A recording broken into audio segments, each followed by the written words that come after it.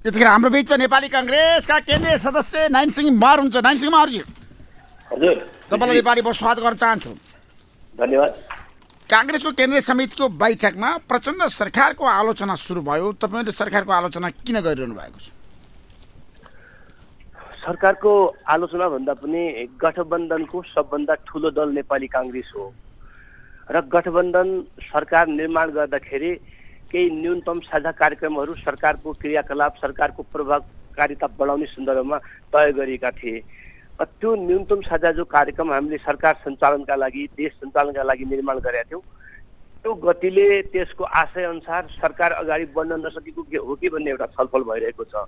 अर्कोतर्फ जनताका दैनिक जनजीवनका समस्याप्रति सरकार अलिकति बढी चिन्तित नभएको हो कि भन्ने लगायतका त्यस्ता विषयहरू पनि प्रवेश गरेका छन् जस्तै बाटोघाटोको समस्या छ। तपाईँको चाहिँ जनावरहरूको यत्रो महामारी आयो त्यसका बारेको क्षतिपूर्ति दिने समस्या छ। शीतलको त भर्खरै एक तवरले अलिकति त भएको छ। मतलब जति जनताका प्रति जिम्मेवार हुनुपर्थ्यो गठबन्धन सरकार त्यो नभइसकेपछि जनताले भनेको त सरकारले हाम्रो पक्षमा काम गर हामीले जनादेश दिएको हो र जनताका पक्षमै काम गर्नुहोस् भन्ने जो जनताको भनाइ छ त्योभन्दा बाहिर गयो भने त नेपाली काङ्ग्रेस जनताको पार्टी हो। जनताको आदेशलाई नेपाली काङ्ग्रेसले केन्द्रीय समितिमा उठाएको छ।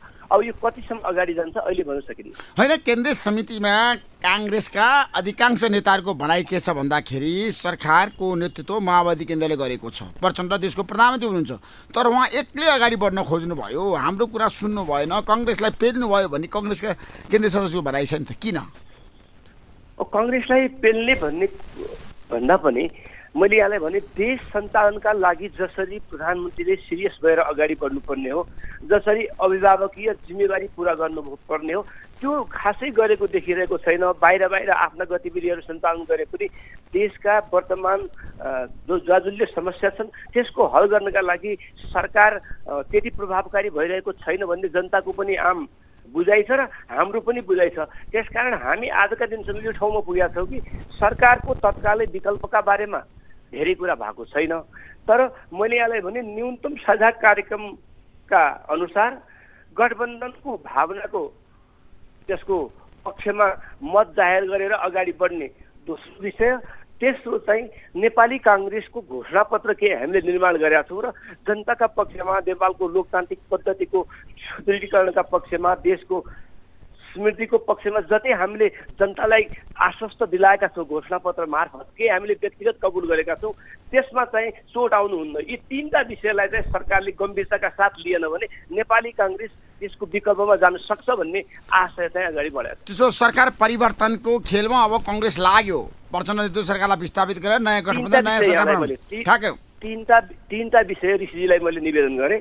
एउटा न्यूनतम जो हामी सरकार सञ्चालनका लागि साझा हामीले कार्यक्रम तय गरेका थियौँ त्यो उल्लङ्घन हुनु भएन भनेको त्यो जनताका पक्षमा हामीले निर्माण गरेका थियौँ। दोस्रो कुरा गठबन्धनका केही कबुलहरू छन्। गठबन्धनको सबभन्दा ठुलो दल नेपाली काङ्ग्रेस। अनि यसको जम्मै सरकारले गरेका गल्तीहरूको भारी मात्रै बोक्नुपर्ने राम्रा कामहरू बोक्नु नस- नसक्ने जो अवस्था आयो भने त्यसलाई पनि सरकारले सम्बोधन गर्नुपर्छ। तेस्रो भनेको स्वयं नेपाली काङ्ग्रेस पार्टीको आफ्नै चुनावमा जाँदाखेरि र आजका दिनसम्म जनताका बारेमा केही कमिटमेन्टहरू हुन्छ केही साझा प्रतिबद्धता छन् हामी लोकतान्त्रिक प्रक्रियाभित्र रहेर जनताको उन्नयनका पक्षमा काम गर्न चाहन्छौँ। त्यो उन्नयनका सवालमा नेपाली काङ्ग्रेसको घोषणापत्र र हामीले व्यक्तिगत रूपले नेपाली काङ्ग्रेसको आठ लाख छैसठी हजार क्रियाशील सदस्यहरूले जनताका समक्ष केही प्रतिबद्धता व्यक्तिगत र सामूहिक रूपमा गरेको छ। त्यसको भावनालाई सरकारले बुझिदिनुपर्छ। हामी त्यसको सरकारको विकल्पमा जाँदैनौँ। तर यदि यी तिनवटा विषय सम्बोधन हुन सकेन र जनताले यो सरकार काम लाग्दैन भन्ने जनादेश यदि दिन थाल्यो भने जनताको भावना अगाडि बढ्न थाल्यो भने पार्टी त जनताको पार्टी हो। जनताले भने अनुसार त गर्नै होइन समस्या छ जटिलता छ जताततै कङ्ग्रेसले पनि जनतालाई डेलिभरी दिन सकेन। एघारवटा बाह्रवटा तेह्रवटा चौधवटा पन्ध्रवटा मन्त्रालयको कुरा गर्न चाहन्छु म प्रहमै देखिएन कङ्ग्रेसले नौवटा मन्त्रालय लिएर सरकारमा बसेको छ कुनै पनि मन्त्रीले राम्रोसँग काम गर्न सकेन भन्ने कङ्ग्रेसको केन्द्रीय सदस्यको भनाइ छ। अर्थमन्त्री प्रकाश शरणमाथि केन्द्रीय सदस्यहरू खनिए अर्थतन्त्र बचाउन सक्नु भएन भएन जनतालाई राहत दिन सक्नु भएन। महँगी बढ्यो चिनीको मूल्य एकै दिनमा सयबाट एक सय पचास पुग्छ। सरकार बेखबर छ बोल्दैन। जनता पीडामा छन्। अनि तपाईँहरू किन गफ मात्रै गर्नु छ त्यसरी गफको कुरा भन्दा पनि मैले स्वयंले योभन्दा अगाडिको दुई महिना अगाडि सम्पन्न केन्द्रीय समितिको बैठकमा तिनै तहका सरकारहरू केन्द्रीय मात्रै होइन कि तिनै तहका सरकारहरू बिना लगामको घोडा जस्तै भए। सरकारको नियन्त्रण भएन र सरकार सञ्चालनका लागि केन्द्रमा प्रदेशमा र स्थानीय तहमा पार्टी सम्मिलित गठबन्धनको एउटा संयन्त्र नबनाइकन अथवा पार्टीको काङ्ग्रेस पार्टीको एउटा संयन्त्र नबनाइकन भोलि अबका तिन चार वर्षपछि हामी चुनावमा जाँदै गर्दाखेरि हाम्रा स्थानीय जनप्रतिनिधिदेखि लिएर प्रदेशको सरकारदेखि लिएर केन्द्रको सरकारले गरेको जो क्रियाकलाप छ उसले गरेको सुशासनको पक्षको जो काम छ उसले दिगो विकासका पक्षमा जुन काम गरेको छ त्यसैका आधारमा जनताले हामीलाई मूल्याङ्कन गर्ने हो। त्यसकारण यी सरकारहरू जित्ने बेला साथीहरू पार्टीको एउटा ठुलो योगदान साथीहरूको पसिना जनताको समर्थनले जित्ने जितिसकेपछि सरकारमा बस्ने व्यक्तित्वहरू सर पार्टीले भनेको गाइडलाइन भन्दा पनि बाहिर गएर एक्लै एक्लै एकल काँटी टाइपले प्रस्तुत हुन लागेको हो कि भनेर थुप्रै विषयमा मैले कुरा उठाएको थिएँ र त्यो कुराको फेरि पुनरावृत्ति भएको छ। हिजो संयन्त्र गर्ने भनेर निर्णय भएको थियो आज कार्यान्वयन भएको छैन। त्यसकारण केन्द्रीय समितिले गरेका निर्णयहरू पनि कार्यान्वयनको सन्दर्भ पनि उठेको छ। थुप्रै निर्णय हिजो हामीले गयौँ कार्यान्वयन हुन सकेका छैन। सरकार सञ्चालनको कुरा उठाएको छ पार्टीभित्रको आन्तरिक वैधानिक क्रियाकलाप अहिलेसम्म सम्पन्न हुन सकेका छैन त्यसलाई सम्पन्न गर्ने कुरा उठेको छ। र सँगसँगै महासमितिको बैठक जसलाई हामीले नीति महाधिवेशनका रूपमा सम्पन्न गर्ने एउटा प्रयत्न गरेका छौँ मङ्सिरको तेह्र चौध पन्ध्र गते। यसलाई कसरी सुसञ्चालन गर्ने र यो भित्र राजनीतिक आर्थिक साङ्गठनिकदेखि लिएर मूल तयारी सम् गर्नका लागि समितिहरूको निर्माण र त्यसको स्ट्राटेजी रणनीतिका बारेमा पनि वृहत छलफल भएको छ। अहिले छलफल भएको छ। छलफल मात्रै भएर के गर्ने? काङ्ग्रेसको बैठकमा अर्थमन्त्रीको आलोचना भयो। अर्थमन्त्रीले काम गर्न सक्नु भएन। अर्थतन्त्रलाई चलायमान बनाउन सक्नु भएन। महँगी नियन्त्रण गर्न सक्नु भएन। बजार आज तपाईँलाई थाहा छ कस्तो अवस्थामा छ? जनताहरू कुन पीडामा छन्? कुन समस्या लिएर बजारमा पुग्छन्? महँगी कति बढेको छ? आकाशेको छ? तपाईँहरूलाई चिन्ता छ? अनुगमन भएको छ? कङ्ग्रेसको मन्त्रीहरू छन् नि त। अर्थमन्त्री पनि कङ्ग्रेसको उद्योग वाणिज्य मन्त्री पनि कङ्ग्रेसको। खोइ त कहाँ भएको। कहाँ हुनुहुन्छ उद्योग मन्त्री रमेश रिजाल तपाईँहरू उहाँलाई भन्न सक्नुहुन्छ? चिनीको भाउ कति पुग्यो नेपालमा? थाहा छ तपाईँलाई? इतिहासमा पहिलोपटक यति महँगो भयो चिनी। तपाईँलाई कुनै चिन्ता छैन। काङ्ग्रेसको मन्त्रीहरूको काम भनेको मन्त्रालयमा जाने बस्ने गफ गर्ने कार्यकर्ता भेट्ने। होइन धेरै कुराहरू त अगाडि बढाए होला। तर मलाई के लाग्छ कि भोलि नेपाली काङ्ग्रेस केन्द्रीय समितिको बैठक बिहान नौ बजीदेखि फेरि सुरु हुन्छ। र त्यो बैठकमा हाम्रा तर्फबाट अझै केही अहिलेका कार्यवाहक प्रधानमन्त्री जो नेपाली काङ्ग्रेसको तर्फबाट सरकारमा नेतृत्व गरिराख्नु भएको छ आदरणीय सभापति पूर्णबहादुर खड्काले शिक्षक आन्दोलन लगायतका विषयमा केही कुरा राख्नु भएको थियो र उहाँले के भन्नुभएको छ कि बैठकको अन्तिम दिन मैले फेरि सरकारका तर्फबाट केही कुरा राख्छु र साथीहरूलाई मैले त्योभित्र भए गरेका कुराहरू जानकारी गराउँछु भन्नुभएको छ। यहाँले भने जस्तै दुई चारजना मन्त्रीजीहरूको पनि बारेमा पनि कुरा आएको छ। तर यसको समग्रता हामीले त्यसकारण त सरकारको विरोध भइरहेको छ। त्यसकारण यो सरकार जनताका पक्षमा काम गर्ने होइन जनताको जनजीविका जनजीविकालाई यदि ध्यान दिने होइन महँगी नियन्त्रण गर्ने होइन महामारी नियन्त्रणमा अगाडि बढ्ने होइन अथवा पुल बाटोघाटोको समस्या समाधान गर्ने होइन शिक्षा र स्वास्थ्यका बारेमा ध्यान दिने होइन भनिसकेपछि सरकारको अभिभावकीय जिम्मेवारी त भएन नि। सरकारको त सरकारको जिम्मेवारी भने नै जनताको लागि अभिभावकीय जिम्मेवारी प्रदान गर्ने हो। त्यो जिम्मेवारीबाट च्युत हुन थालिसकेपछि यो सरकार हो के त यो सरकारलाई के गर्ने त? यसलाई बोक्ने कि नबोक्ने सम्मका कुराहरू पनि उठिरहेको छ नि त। यसै सन्दर्भले सरकारलाई एकपटक हामी यो केन्द्रीय परिषदबाट मलाई के लाग्छ भने एकपटक फेरि सरकारलाई हामीले केही निर्देशन दिने यसलाई सुध्ने मौका दिने र सरकारको समग्र समग्र प्रभावकारितालाई ध्यान दिने भन्ने विषयमा जबरजस्त निर्णय पनि हुन्छ र आवाज अझै उठ्ने क्रम जारी छ। त्यसो भए अब सरकारलाई सुधार्नको लागि तपाईँहरूको अन्तिम प्रयास हुन्छ। सरकार सुध्रेन भने प्रधानमन्त्री सुध्रिनु भएन भने कौँले विकल्प खोज्छ?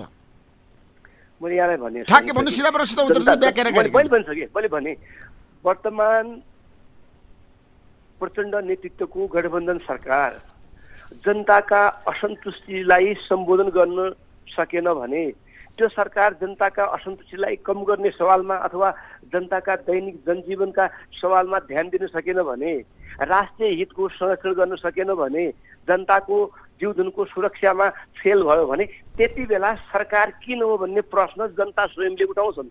जनता स्वयंले उठाउने प्रश्नलाई नेपाली काङ्ग्रेस पार्टी जनताको पार्टी भएका कारणले त्यसलाई डिनाइ गर्न त्यसलाई अस्वीकार गर्न सक्दैन। त्यति बेला जनताको साथमा जनताको मुद्दा लिएर अगाडि बढ्छ। त्यो बेला नआओस् त सरकार यही सरकार किनकि हिजो हामीले चुनावभन्दा अगाडि गठबन्धन गऱ्यौँ। त्यसपछि फेरि गठबन्धन समस्यामा पर्यो। फेरि हामीले धेरै प्रयत्न गरेर बडो सकसपूर्ण अवस्थाबाट नयाँ गठबन्धन निर्माण गरेका छौँ। हामी चाहन्नु कि यो गठबन्धन फेरि गुमर्याङ होस्। यसले पाँच वर्षै काम गर्नुपर्छ आफ्नो कार्यकाल यसले सुसञ्चालन गर्नु पाउनुपर्छ भन्ने हामी पुरा कन्भिन्स हो यो विषयमा। तर यो कन्भिन्स हामी हुँदै गर्दाखेरि जनतालाई पर राखेर नेपाली काङ्ग्रेसका आम पार्टीका नेता कार्यतालाई कार्यकर्तालाई पर राखेर जनताका भावनालाई तिलाञ्जली दिएर सरकारको भारी नेपाली काङ्ग्रेसको काँधमा त्यसलाई बोकिराख्नुपर्ने अवस्थामा पनि हामी हुँदैनौँ। त्यसो भए ठ्याक्कै मलाई बताउनुहोस् अहिलेको अवस्थामा नेपालका प्रधानमन्त्री चिन भ्रमण हुन्छ अमेरिकाको भ्रमण सकेन। चिनसँग नेपालको व्यापार घाटा यति गइनिदो छ तपाईँहरूको चिन्ता त्यतातिर छैन। किन यसरी भइरहेछ हाम्रो देशमा समस्याहरूको खाडल?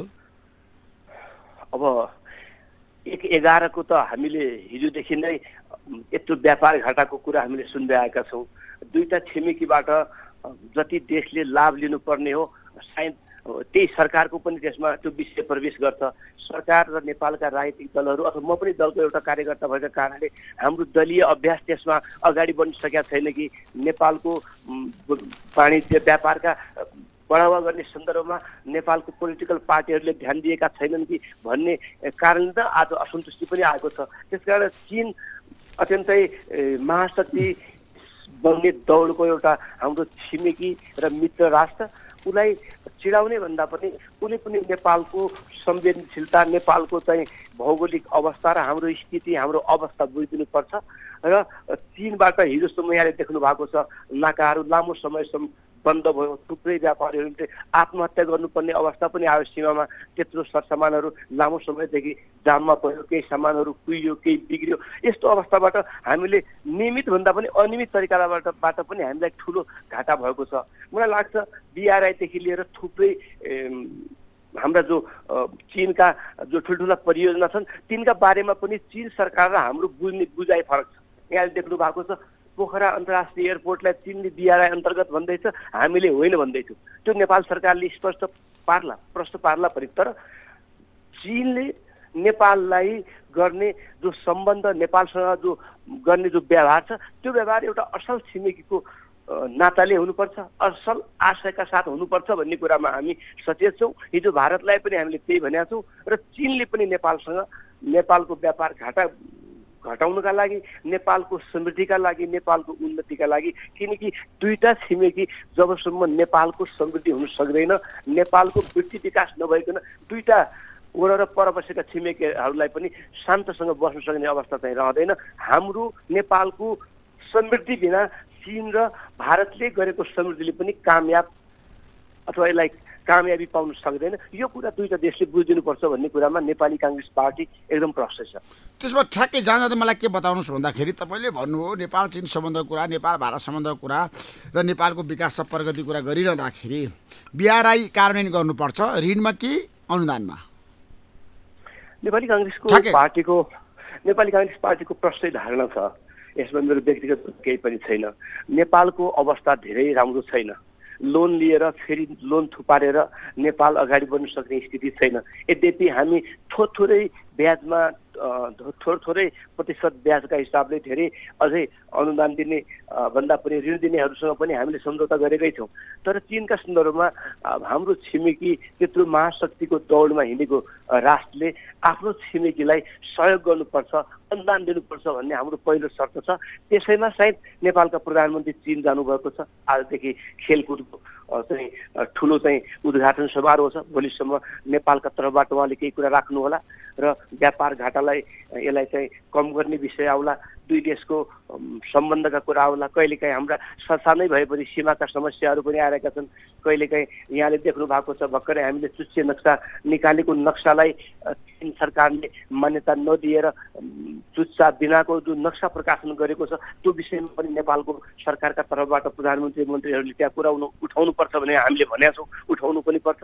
नेपालको राष्ट्रिय अस्मिताका कुरा छन् र कहिलेकाहीँ नेपालको संवेदनशीलतालाई नबुझेर जसरी कालापानी लिपुलेको जो नाका छ त्यो नाकालाई हामी नेपालको जमिनका बारेमा भारत र चिनले जसरी सम्झौता गरेर त्यहाँ व्यापारिक नाका बनाउने कुरा गरेका छन् दुई हजार पन्ध्रमै त्यस त्यसको सवालमा पनि नेपाल एउटा स्वतन्त्र अविभाज्य मुलुक भएको कारणले हाम्रो राष्ट्रिय अस्मिता राष्ट्रिय अखण्डतालाई चिन र भारत दुवैले ध्यान दिनुपर्छ भन्ने कुरा उठाउनुपर्छ र चिनले विशेष गरी यसपालिको भ्रमण चिनमै भएको कारणले चिनले यो कुरामा जसरी बिपी कोइरालाले आफू प्रधानमन्त्री भएको बेला चिनको चिनमा सगरमाथाको जो विवाद थियो सगरमाथा नेपालको कि चिनको भन्ने जो विवाद थियो बिपी कोइरालाले प्रश्नसँग अडान राखेर सगरमाथा नेपालको हो भनेर चिनलाई प्रमाणित गराएर जो विवाद तह लगाउनु भयो र सगरमाथा सधैँ नेपालको एउटा ठुलो उच्च शिखरका रूपमा स्थापित भएको छ। त्यसै गरी प्रचण्डजीले पनि वर्तमान गठबन्धन सरकारको नेतृत्वले पनि चिनसँग आफ्ना अडान चाहिँ राख्न र त्यो कार्यान्वयन गराउनु डराउनु हुँदैन। Thank you so much nine Singh महर्जी समय दिनुभयो नेपाली भाषालाई तपाईँलाई म धेरै धेरै धन्यवाद दिन चाहन्छु।